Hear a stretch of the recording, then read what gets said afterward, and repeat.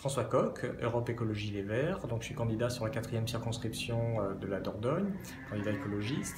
Euh, mon objectif dans cette, euh, dans cette élection, c'est d'améliorer de, notre quotidien avec une terre plus belle et un monde plus juste.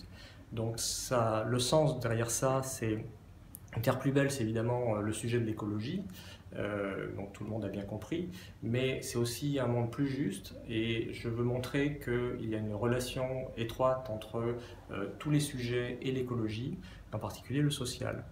Euh, on a développé une méthode pour ça, qui est la méthode des écologistes en général, qui est une méthode de bienveillance, c'est-à-dire d'écoute, euh, de confrontation euh, des idées, euh, d'échanges pour co-construire des solutions avec tous les partenaires de, la société civile.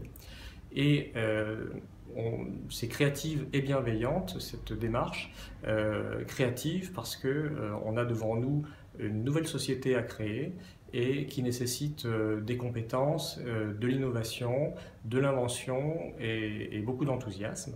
Euh, et, c'est aussi ça qui me motive dans, la démarche, de, trouver de nouvelles solutions pour tout le monde euh, en coopération avec tous les acteurs.